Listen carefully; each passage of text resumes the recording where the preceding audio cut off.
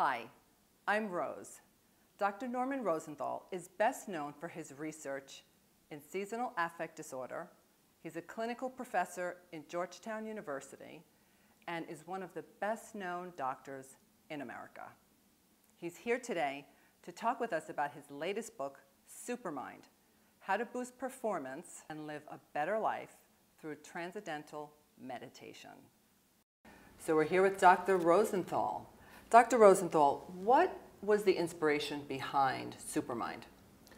Well, when I finished my last book on transcendental meditation called Transcendence, I thought that I'd written everything I had to say. Mm-hmm. It was and is a book about how transcendental meditation can help people with all kinds of difficulties. But I personally continued to meditate, and after some duration of more meditating, twice a day, I began to feel changes in my daily consciousness. And so did many of the patients to whom I had recommended transcendental meditation.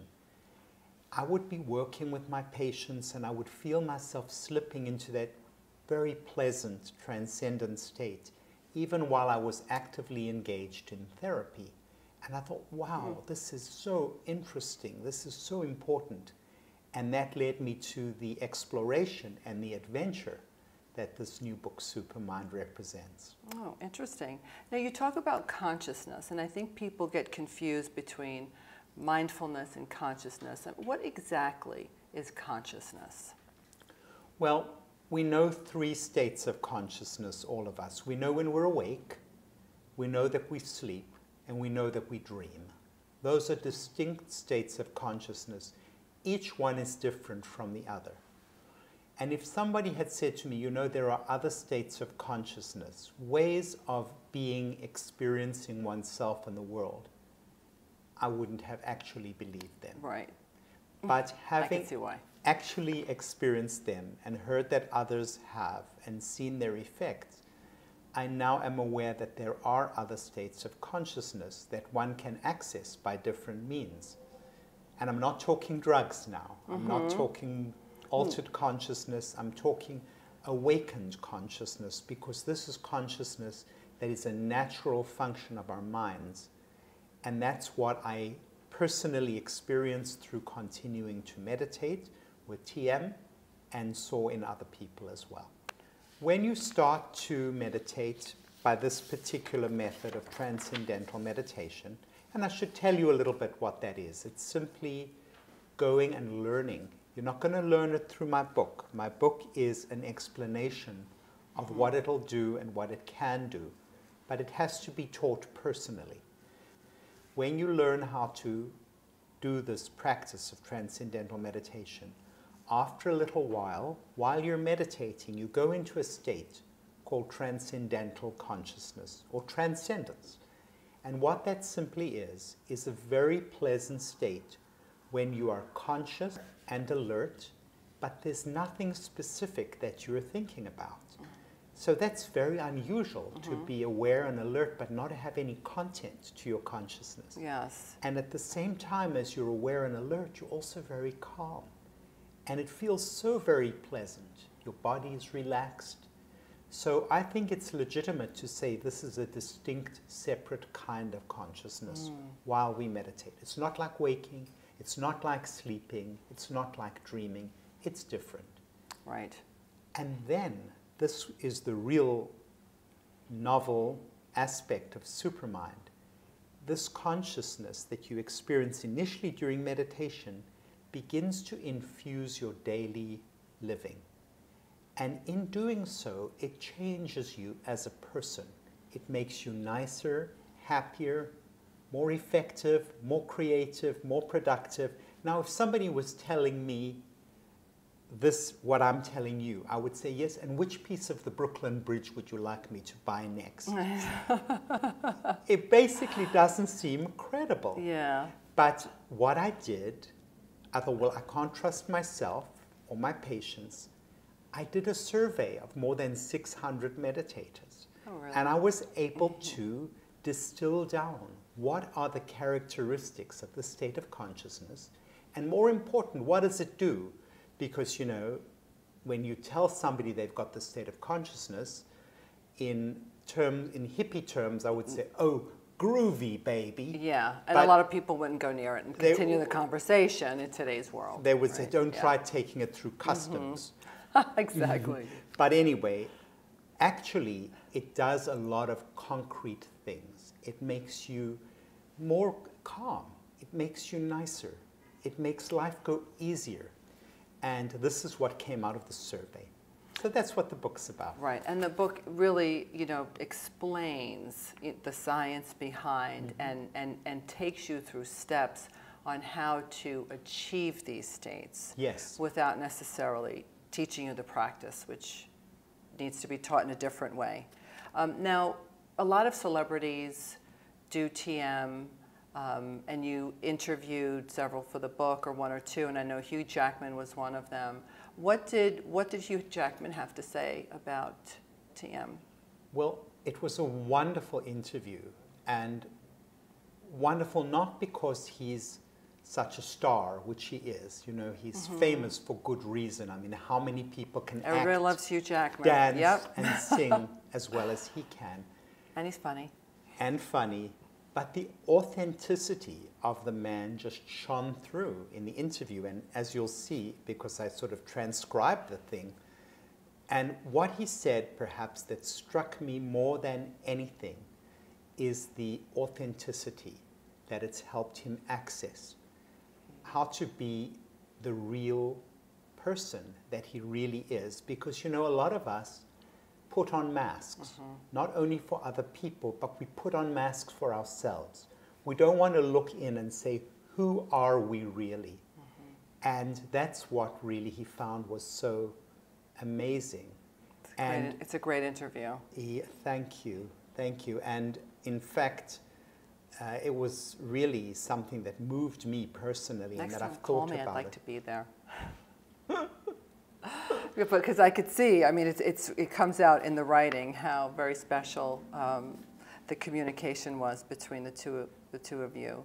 Now, you mentioned some of the benefits of TM, which is reducing stress and um, making you happier and healthier. I mean, how specifically is that happening?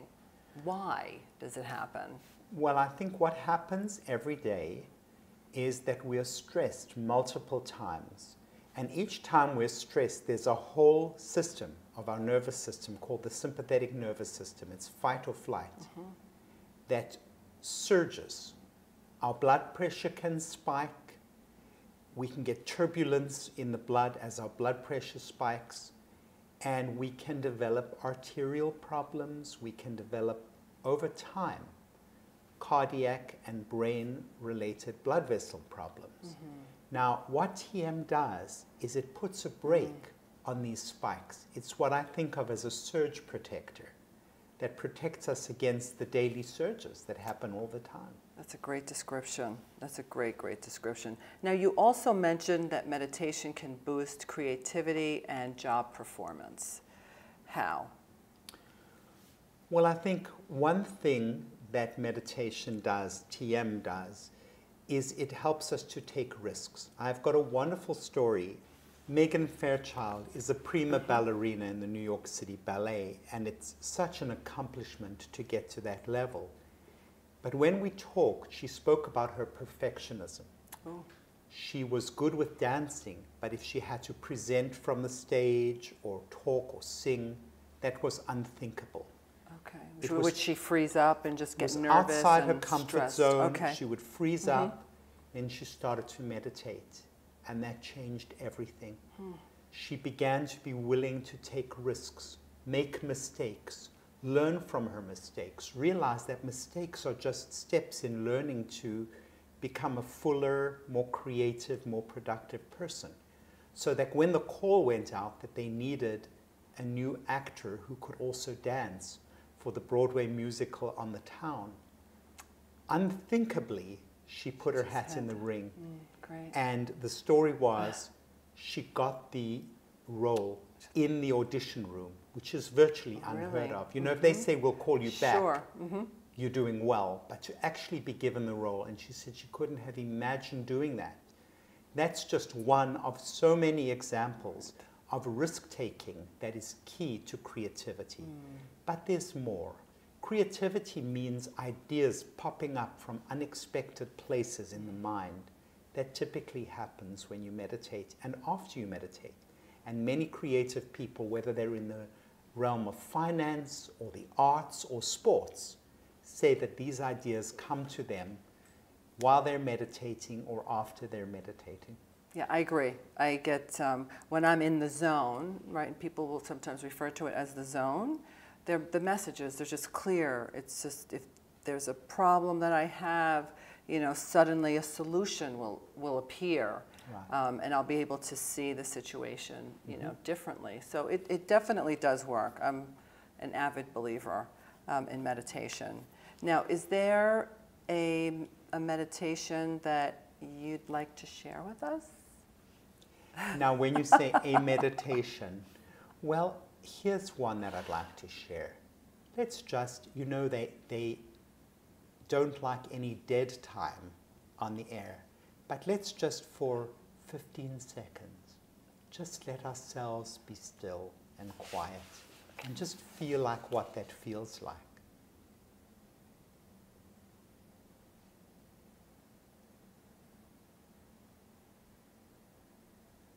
The unthinkable just happened. Mm-hmm. We gave a little pause at a time when people expect rat-a-tat-tat, yeah. continuity. And that's a little taste of what it's like to take your 20 minutes and say, this is 20 minutes that I'm going to spend with myself. Somebody earlier today was saying, I have a hard time getting to all the things on my to-do list. And TM is just one more thing on my to-do list. And I said, you know, why it's not hard for me is it's not part of my to-do list. It's part of my I want to do list. Because to-do list is like some voice saying, you got to do this, you got to do this, you got to do this. Just reinforcing that fight or flight, right? Reinforcing mm-hmm. that it's a chore. But it doesn't feel like a chore. It feels like a little gift, a little treat that I'm giving myself twice a day. And that little gap that I gave, I don't know how it'll come out when you actually look at it on the screen, was just to give you a little taste of what quiet feels like. It's inner quiet, but it's facilitated by a mantra that we get, that we're taught to access in a very effortless way that takes us into this zone or state that you were talking about. That's so pleasant and that then begins to infuse our personalities and come out in everything we do, whether it's our personal relationships, whether it's our work, whether it's even our decision making. Mm. Should we continue on this job that we don't like anymore, or should we venture out, maybe do something a little risky, but that might make us so much happier? Those are all the things that begin to get influenced when our consciousness changes. Right. Well, I mean, I know personally, I feel, um, you know, this wave of tranquility when I hear silence. You know, it just, it makes me happy. And we don't give ourselves that treat. Very often. Yeah, we really often. don't. We don't. Can you give us any tips on, um, you know, other ways to meditate throughout the workday? Yes. Well, certainly, I think you can take deep breaths. Those have been shown to be, you know, very soothing. I would say, you know, we hardly allow ourselves even a one or two minute pause during the working day. Let's just take six deep breaths and feel what does that do to our bodies. And so we'll breathe in six deep breaths and you can feel the slowing down in the mm. audience. Mm. And it's funny, but six deep breaths, it feels like such a long time because we fill our days with chatter, whether it's our cell phones, whether we're accessing our voicemail, chatter, chatter, chatter, because our cell phones let us stay in touch with right. the internet even, and other people right. even the, even long. the emails, sure. I mean, I'm emails. saying it in my mind as I'm answering, and I think we've lost the ability to just be with ourselves. And so, any way that we are able to be with ourselves, maybe go for a walk in a natural setting, quiet walk, watch the changing seasons, watch the birds flying overhead. These are all wonderful things to do. And then a specialized thing that falls into that category is transcendental meditation. Well, thank you, Dr. Rosenthal. This has been a pleasure. I've learned so much. It's can't been a wait. pleasure for me too. Thank you for having me on your wonderful show. I can't wait to finish the book. Um, to find out more, you can visit Dr. Rosenthal at his website at normanrosenthal.com. And to find out more about transcendental meditation, you can also visit the David Lynch Foundation and the TM organization.